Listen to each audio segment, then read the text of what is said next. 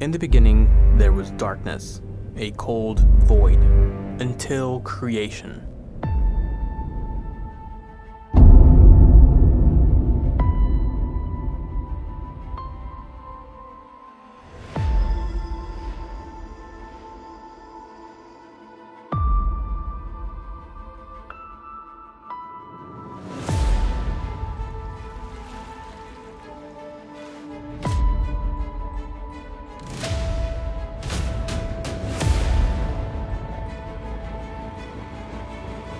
Somewhere amongst the ever expanding universe, 13 billion years later, a flicker of life would emerge. As time went on, civilizations rose and fell. History has shown us that civilizations are not immortal. We've learned that anything can wipe out an empire and leave no answers behind. Revolution after revolution, we've come exponentially further in the speed of which we advance the human race. This civilization as we know it needs a fatal upgrade to eliminate fraud, inflation, foreign exchange fees, unbanked populations, and an inefficient payment system. This is the digital revolution. We think this civilization has made it further than any other civilization on Earth. But to really understand how we got here, let's take a deep dive into the past.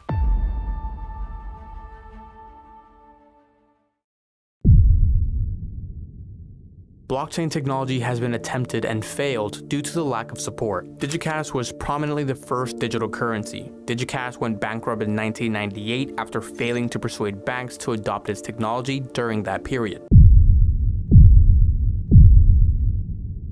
Wei Dai, a Chinese author and engineer, was the first to define modern cryptocurrencies in 1998. In 2009, after the Great Recession, Satoshi Nakamoto released a white paper outlining the fundamentals of blockchain, and alongside that, Bitcoin was published. Whether Satoshi is an individual or a group of individuals, the true identity of Satoshi is still unrevealed. Bitcoin became the first modern cryptocurrency since it was the first publicly used method of trade to combine decentralized control, user privacy, blockchain-based record keeping, and built-in scarcity. Someone sold 10,000 bitcoins in exchange for two pizza slices, a transaction that in today's value of $20,000 per bitcoin would equal to over $200 million. Cryptocurrency had its first attack. Bitcoin is hacked and exposes a huge vulnerability.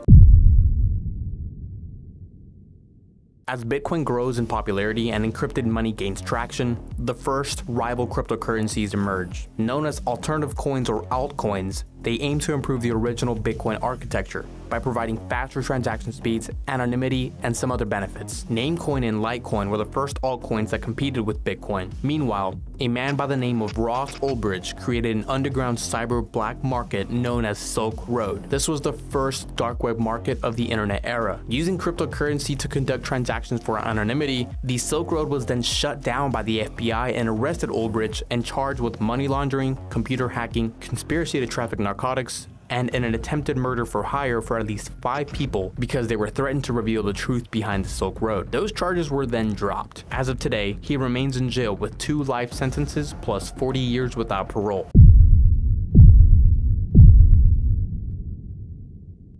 WordPress was the first large retailer to accept Bitcoin as payment. This led to a ripple of companies to follow in their footsteps in the years to come. Bitcoin reaches over $1,000 for the first time. Then immediately after, the price drops dramatically causing mayhem. The world's largest Bitcoin exchange goes down, along with 850,000 Bitcoins that were never returned to their owners, an amount of which today the total value would equal to 17 billion US dollars. The Winklevoss brothers who disputed Zuckerberg over the creation of Facebook took their newly acquired crypto wealth that was funded by their settlement and created a crypto exchange. While they did not succeed in the rights to Facebook, they created one of the world's most popular crypto exchanges. Meanwhile, the world's first Bitcoin ATM goes live in Vancouver, Canada.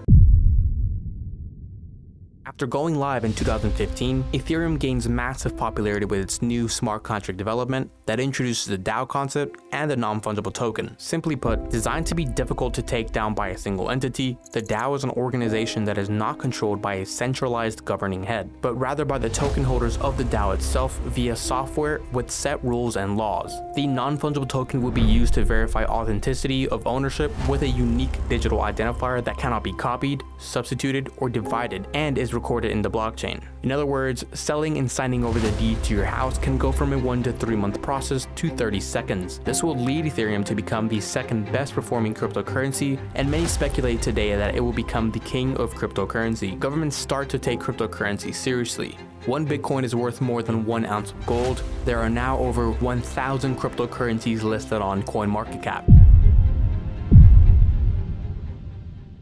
After Bitcoin peaked at just under 20,000 US dollars, the crypto market crashed and Bitcoin reached a low of 3,100 US dollars. This was led by a number of factors such as countries or companies implementing restrictions or banning certain actions around the crypto space along with the successful and failed attempts at hacking and stealing from crypto exchanges. The uncertainty of cryptocurrency is now settling in. Bitcoin breaks the all-time high again, over $19,000, eventually hitting $67,000 per Bitcoin later in 2021. Coinbase goes public on the Nasdaq. Decentralized finance takes off, growing from 1 billion in locked assets to 14 billion, and Bitcoin becomes the legal tender of El Salvador. Tesla is now accepting cryptocurrency payments, only to then reverse this decision on Bitcoin until it becomes environmentally friendly. Tesla is currently only accepting Dogecoin.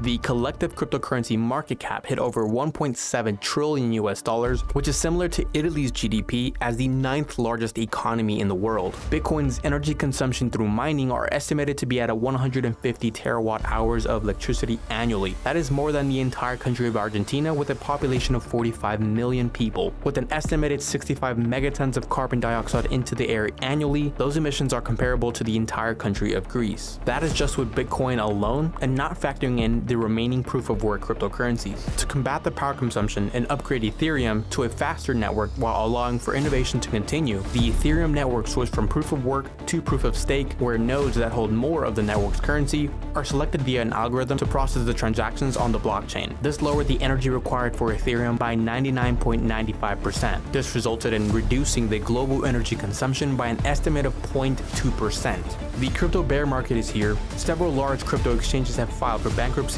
Terra Luna worth more than 40 billion US dollars virtually lost all of its value in seven days. Thousands have been laid off from cryptocurrency companies, Bitcoin mining farms and bullish crypto firms selling thousands of Bitcoins due to weak markets in order to cover operational costs or to stay solvent. Centralized crypto exchanges have frozen withdrawals, and investors panic at the bloody markets and ruthless times. Will crypto adaptation come sooner than expected? Will institutional money continue to study Bitcoin? What does the next 20 years of your life look like because of crypto? Stay tuned. For the next video, we'll experience what the future will look like in 20 to 30 years when crypto has taken over. Until then guys, keep building. Thanks for watching.